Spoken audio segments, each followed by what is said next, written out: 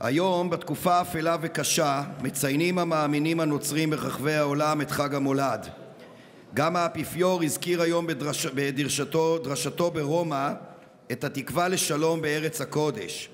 ההיגיון העקר של המלחמה, אמר, מטביע את מסר חג המולד לשלום.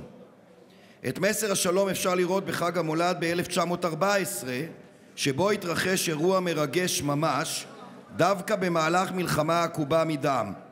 בליל החג יצאו בספונטניות אלפי חיילים ניצים מהשוחות בחזית המערבית, הפסיקו את האש, רקדו, שרו ושיחקו כדורגל. בימים, בימים הללו שבהם שפיכות הדמים אינה יודעת קץ, אני קורא שוב להפסקת אש ולסיום המלחמה למען כל יושבי הארץ הזו. במקום דם, יזע ודמעות, בואו נדאג להשקותה במים חיים. תודה. תודה